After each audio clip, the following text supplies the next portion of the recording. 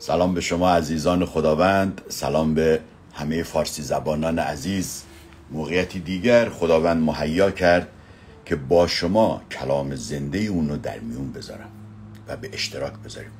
خدا شکر می‌کنم برای این موقعیتی که خداوند برای ما مهیا کرد و خوشحالم عزیزان عضو کلیسای پادشاه ابدی که میان می نویسن من عضو کلیسای پادشاه ابدی هستم. خیلی خوشحالم برادر امیر رو می‌بینم خواهر آذر عزیز رو می‌برم می‌بینم سمیه جان رو می‌بینم و عزیزان و خواهران و برادران عزیزم رو می‌بینم که لحظه شماری می‌کنن برای اینکه در این live شرکت بکنن. می‌دونید که کلیسای پادشاه ابدی پنج روز در هفته live داره ساعت یک و نیم شب.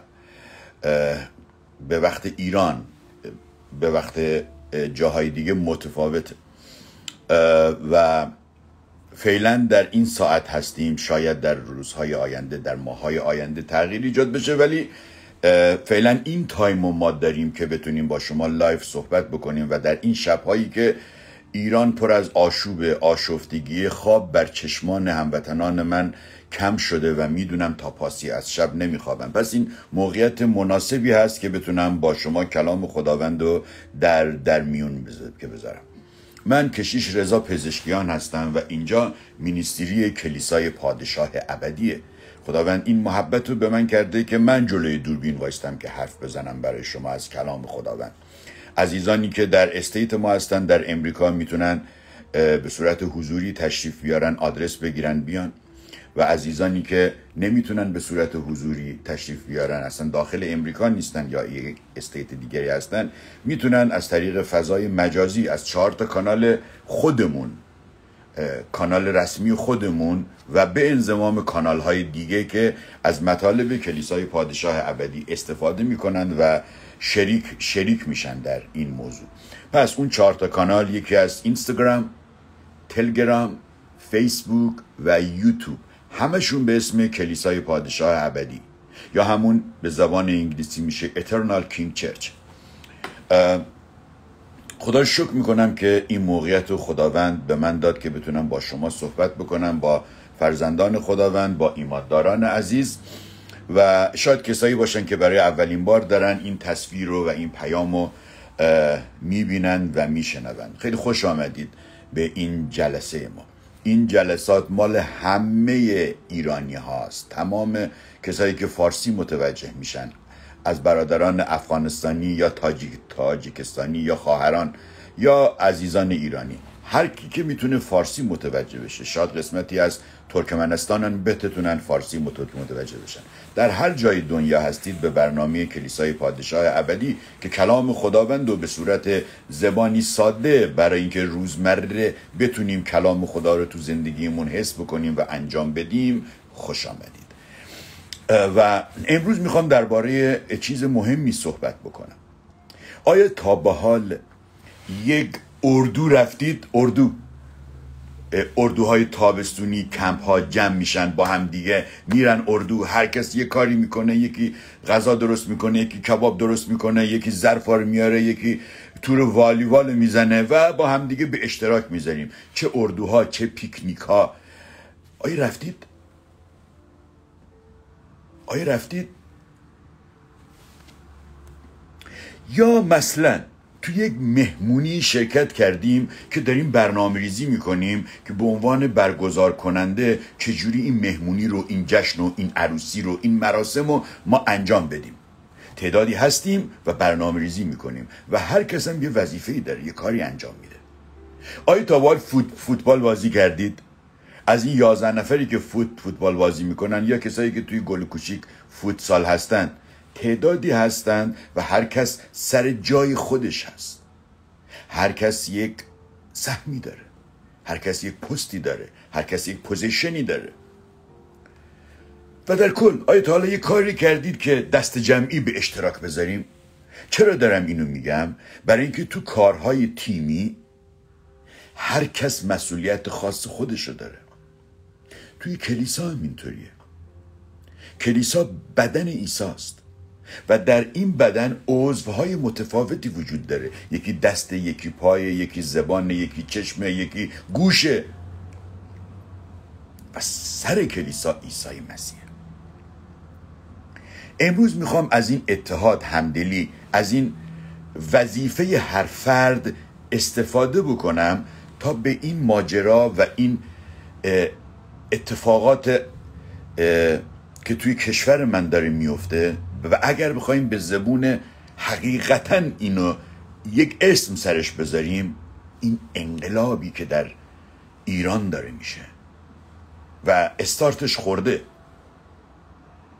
شاید امروز شاید فردا شاید به صورت فرسایشی ولی این استارتش خورده این روشنگریش خورده. ما تمام کسایی که حق و حقیقت رو می‌خواهیم سلام میگم به همه عزیزانی که دوباره آمدن. عزیزانی نوشتن ما غمگینیم و عزیزان دیگه سلام به خواهر سریای عزیز به برادران من به خواهران من. خوب اینو داشتم می‌گفتم. امروز هم موقعی هست که هر کدوم از ما بدونیم برای مبارزه با این شیطان و شیطان صفتان چه جایگاه و موقعیتی ما داریم. از جایگاه و موقعیت گفتم در مهمانی ها در اردوها در ورزش ها در کارهای دست جمعی و در کلیسا. این سوال خیلی مهمیه. ما چه جایگاهی در این مبارزه با شیطان داریم؟ چون می‌دونیم حکومت فاسد ایران دست نشانده شیطان و شیطان صفتان هستن دیگه. کاملا مشخصه. کسی که می‌کشه کسی که اسلحه می‌کشه روی دانش آموز کسی که می‌کشه کسی که دروغ میگه کسی که استادای دانشگاه رو می‌گیره کسی که خواننده رپ رو می‌گیره کسی که فوتبالیستا رو می‌گیره کسی که زندان آتیش می‌زنه کسی که دانش آموزان رو می‌کشه کسی که دانشجویان می‌کشه کسی که عین حیوان به خوابگاه دانشجویان حمله می‌کنه و اونا رو می‌گیره یعنی حیوان حیوان این کار نمی‌کنه حیوان هم شب نمیره سراغ رققی بشه مثل روز با هم دیگه در در یک چیز عادلانه بجنگن. توی جنگ هم این کار نمی‌کنن. شب میری به خونه ها و به خوابگاه ها و به جاهایی که مردم آرامی گرفتن. به تو هم می‌شد میگه میشه گفت انسان ای فاسد ای فاسد. و بعد من تعجب می‌کنم تعجب می‌کنم. اصلا این مخ من سوت می‌کشه. خیلی از کلیسا میگن آقا ما وظیفه دیگری داریم. درباره شما هم صحبت خواهم کرد. ای کلیسایی که بیطرفید این وسط وایسادید. منتظرید ببینید شرایط چی میشه بعد صداتون رو بلند کنید. می‌خوایم صداتون رو بلند نکنید اصلا. صدای تو چه به درد ما می‌خوره بعد از پیروزی؟ اصلا بلند نکن صداتو امروز ما چه پوزیشنی داریم چه موقعیتی داریم و به عبارت دیگه سهم من تو چیه از این انقلاب چه سهمی داریم ما یک سری با مشت های گره کرده اعتراض خودشون رو دارن به نیروهای شیطان شیطان زمان که دشمن قسم خورده حقیقت آزادیه و خداونده دارن اعلام می‌کنن. اعتراضشون رو دارن نشون میدن. تو بعد نشستی اون گوشه میگه که اصلا نباید از اعتراض اینا هم حمایت کرد. شاید یه نفر تو اینا بگه مرگ بر فلانی ما هم در مرگ گویی این شریکیم. آقا به تو هم میشه گفت ایماندار به تو هم میشه گفت شبان کشیش هر چی هستی. بسته دیگه.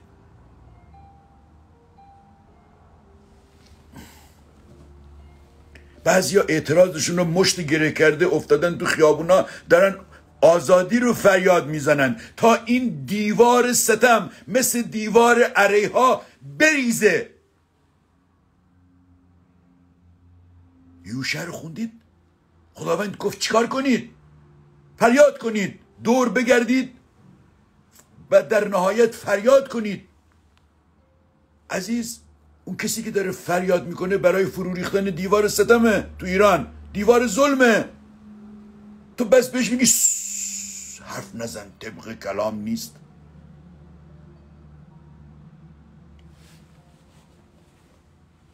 از شما خواهش می‌کنن ای ایمان دارن ای کسی که میگید ما خادمیم ما کشیشیم ما شبانیم ما هرچی هستیم. از کلام خداوند فهم درست داشته باش. نه اون چیزی که دانشگاه الهیات به ما یاد داده نه اون چیزی که آقا سالها رفتیم ده سال رفتیم کلیسا شبان ما اینطوری به ما یاد داد. آقا شبان که کلام خدا نیست. دانشگاه الهیات هم که وحی منزل نیست.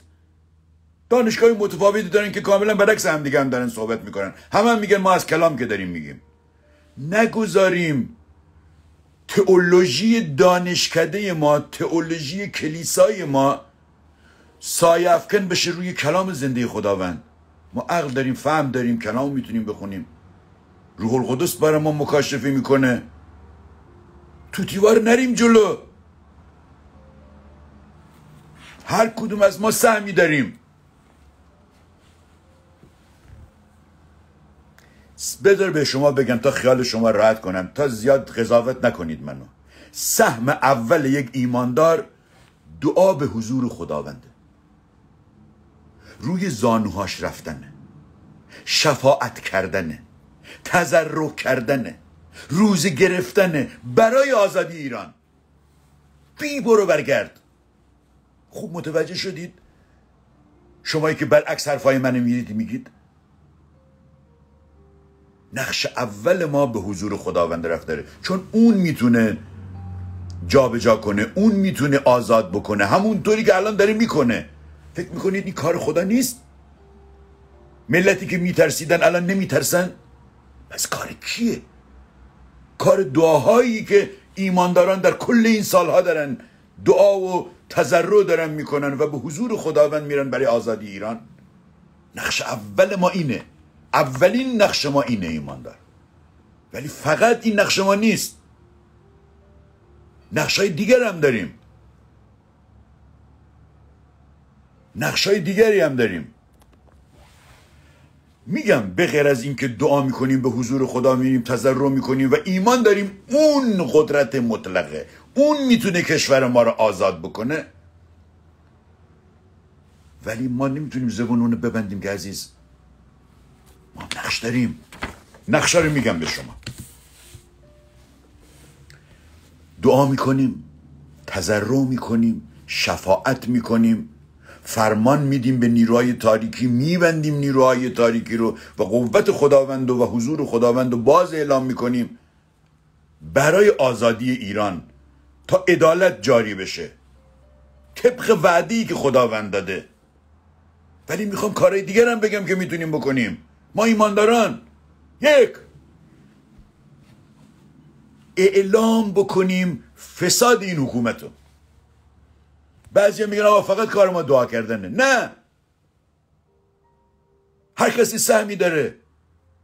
ببین خوب گوش کنید. بعضی اوقات خدا میگه من انجام میدم تو نگاه کن. بعضی اوقات میگه با همدیگه انجام بدیم. بعضی اوقات مثل موسا میگه تو بگو دریا باز بشه. درست میگم یا نه؟ بعضی اوقات مثل حزقیال میگه تو بگو به این استخوانهای خشک. پس هر کس سهمی داره. سهم اول ما دعا و حضور خداونده. بی برو برگرد. ولی سهم بعدی ما می‌تونیم اعلام کنیم فساد حکومت فاسد جمهوری اسلامی رو یا نه. حقانیت معترضین رو می‌تونیم اعلام بکنیم یا نه. می‌تونیم قوم ستم دیده ما رو دعا کنیم شفاعت کنیم و اعلام کنیم هر کسی که تریبون داره یا نه. می‌تونیم. این یکی از بزرگترین کارهای ماست. ما تریبونامون رو نبندیم. تریبونای کلیسا رو نبندید. live همون رو نبندیم. تعلیماتمون رو نبندیم به روی. بگیم آقا ما هیچ کاری نداریم. ما این ور نگاه می‌کنیم. اون ور نگاه می‌کنیم. ما فقط دعا می‌کنیم. روزی نیم ساعت میریم یه گوشه دعا می‌کنیم. این که میشه خشک مقدسی که عزیز. این چه فرقی کرده با کسای دیگه؟ دو وظیفه ما دومین وظیفه ما من چند داره نوشتم؟ چهار پنج شیش داره نوشتم میگم به شما. دو ما وظیفه داریم با کمک های مالی ما اونا رو ساپورت کنیم. اونایی که الان غذا ندارن بخورن. اونایی که اعتصاب کردن حقوق ندارن. اونایی که مدرسه نمیرن. اونا رو می‌تونیم ساپورت بکنیم با چیز مالی ما. اون کسایی که از کار برکنار شدن اون کسایی که غذا ندارن بخورن ولی سرخم نمی‌کنن به این حکومت فاسد. اون کسایی که حکومت فاسد اینا رو بیرون کرده می‌تونیم ببریم تو کارگاه خودمون سر کارگه یعنی نمی‌تونیم ببریم تو شرکت ما تو کارگاه ما. رئیس اداره هستیم رئیس یه قسمت هستیم. اون کسایی که حکومت فاسد بیرون کردن ببریم اونجا سر کار. ما می‌تونیم اون اون کسایی که اعتصاب کردن در مغازهاشون رو بستن. ما می‌تونیم بریم در خونهشون رو بزنیم از پشت بریم از اونا خرید کنیم که. می‌تونیم یا نمی‌تونیم؟ اون کاسبی که مغازهشو بسته ده روز بیست روز یه ماه موقعی که باز کرد همه ما می‌تونیم بریم از اون خرید بکنیم یا نه؟ با اون کسی که هر روز باز بوده نه. اون کسی که توی این اعتصاب با ما همراه بوده یک هفته مغازهشو بسته. الانی که باز کرده وظیفه من توست که بریم از اون خرید کنیم. اون ضرر نکنه. آیا می‌تونیم کمک های دارویی بکنیم یا نه؟ پزشکی می‌تونیم تخفیف بدیم یا نه؟ عزیز می‌تونیم یا نه؟ این وظیفه ماست.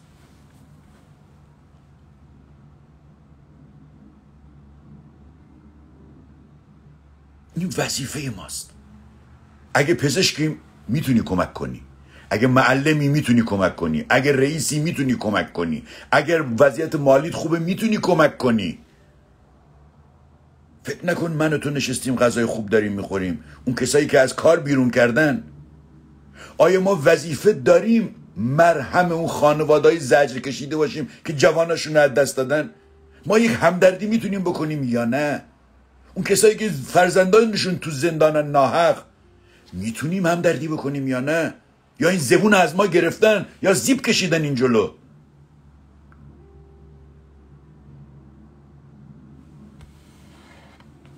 خدمات پزشکی خدمات دارویی خدمات درسی خدمات تکنیکی. آیا می‌تونیم تکنیکی با اینا کمک بکنیم؟ آیا نرم افزار کی بلده؟ می‌تونه با این عزیزان کمک کمک بکنه؟ می‌تونه یک باری رو برداره یا نه؟ همه اینا کمکه. چجور میگیم ما نمی‌تونیم هیچ کمکی بکنیم؟ چهار آیا روشنگری بین المللی می‌تونیم بکنیم؟ توی کشور هستیم با خارجی ها می‌تونیم درباره انقلاب ایران صحبت بکنیم یا نه؟ درباره حقانیت صحبت بکنیم یا نه؟ توی تجمعات شرکت می‌کنیم یا نه؟ یا فکر می‌کنیم آقا چهار سال دیگه ما می‌خوایم بریم ایران؟ چهار سال دیگه این این این شیطانان نیستن. اینا بای بای بای بای بای بای. بای بای هم نداره هری هری.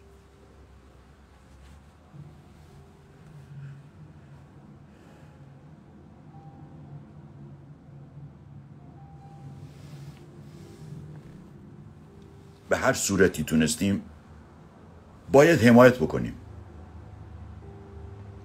پنج ای ایمانداران ای شبانان ای معلمین نظر درست کلام خداوند و نسبت به ظلم بگیم. آقا از این فیگور ایمانداری محبت بیایم بیرون. بعضی فیگور آقا من می‌شناسم. آقا این محبت هست فلان است تا کی فیگور؟ تا کی ریا؟ خودمونی می‌خوایم مثلا نشون بدیم بله ما مثلا خیلی ایمان داریم. در این بحران هم مثلا ما خودمون محکم داریم فقط مثلا چهار تا کلمه دعا دعا می‌کنیم. از این فیگور مسخره بازی بیایم بیرون بابا. درست کلام خداوند رو درس بدیم. خداوند نسبت به ظالم چی میگه؟ نسبت به مظلوم چی میگه؟ نسبت به دست نشانده شیطان چی میگه؟ چه فرمانی میده؟ ما باید چه کار بکنیم؟ چه جوری ما باید در کلام خداوند نوشته برخورد می‌کنیم؟ آیا عیسی موقعی که اومد دید اون کنیسه رو اون معبد و اون جایی که پرستش می‌کنن و درست کردن مرغلونو و کوتلونو و صرافی و دزدی. آیا آیا گفت بای بای آره من برای شما دعا می‌کنم. همه ریخ بیرون با چکلقت انداخت بیرون. من تعجب می‌کنم. بعضی میگه نه آقا اونجا اونجا خانی خدا بود. ای اینو به کله اینجا رو به اینجا رو به کار بنداز. کلام خدا رو بخون اینجا رو صفر کیلومتر کار بنداز. نه هزار به کار بنداز. خونی خدا اینجاست. چهار تا سنگ و سفال دیگه خونی خداوند نیست. روح خدا اینجا ساکنه. الان دارن هموطنان ما رو می‌کشن. به خونا حمله کردن. اومدن در شکستن ناموس مردم رو دارن تجاوز می‌کنن. یعنی واقعا تو اینو میگی که موقع که هجوم برد شیطان هجوم برد داره به زن به مرد به بچه به خواهر به مادر به دختر داره حریم تو رو تجاوز کرده تو به اون پشت بری آقا به من الان می‌خوام برم دعا دعا بکنم. کی درس درس داده؟ دعا در رأسه.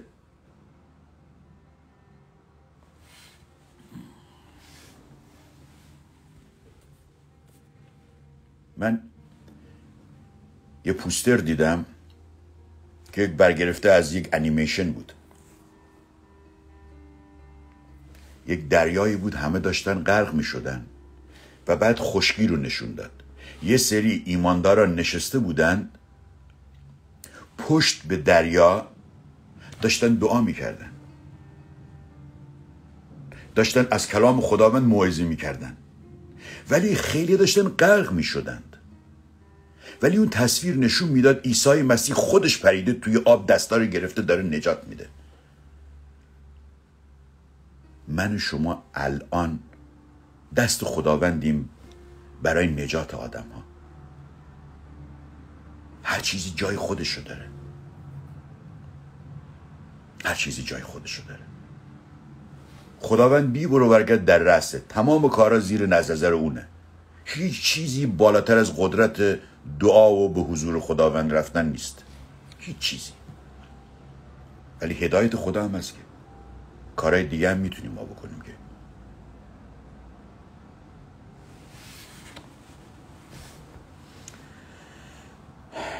پس ای عزیزان ای ایمانداران ای شبانان کلام خدا رو درست جواب بدیم. من خیلی دیدم بعضی از عزیزانی که اقتدا می‌کنن به شبانهای بزرگی که توی آمریکا هستن مثلا. فکر می‌کنن تو آمریکا هستن خیلی اونا قوی مثلا. هر چیزی اون بگه اون اون شبانی که توی کشور دیگه توی ترکیه توی جای دیگه از بی بی چشم گوش بسته داره تبعیت می‌کنه از اون. من تو کلام با تبعیت کنیم. نه از هیچ شبانی هیچ کشیشی. اونا کمک دارن می‌کنن. اصل اینه. اگه شبان بزرگ من اونجا گفت آقا اینا حقن ما میگم آره حقن. اون اونجا بگه که آقا ما ما ما هیچ حرفی نمی‌زنیم اینا میگن ما همیشه حرفی نمی‌زنیم. ساری درست تعلیم کلام خداوند رو بدیم. خداوند با ظلم چه نظری داره؟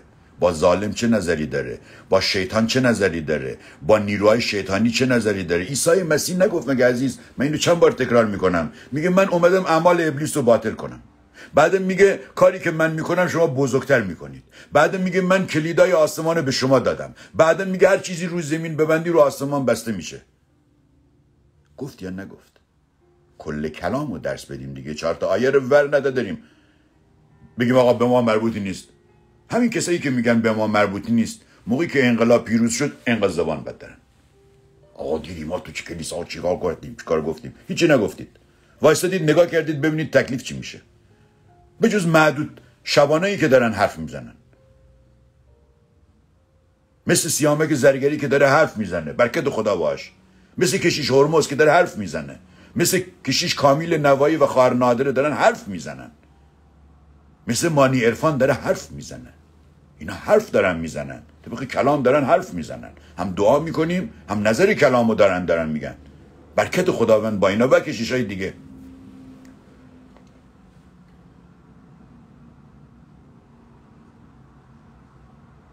پس خیلی از کلیسایی که خوابیدید یا خودتون به خواب زدید بیدار بشید. موقع خواب نیست. از بیطرفی بیاین بیرون. اوکی؟ خدا رو شکر برای کلام زنده خداوند که همیشه با ماست. دوباره میگم کار ما دعا پرستش به حضور خداوند رفتن شفاعت کردن تضرع کردنه. کار اصلی ما اینه. خداوند کار انجام میده. ولی از دست ما کارهای دیگه هم برمیاد انجام بدیم. کمک های دیگر هم می‌تونیم بکنیم. دوستتون دارم سه تا مورد آخر رو میگم.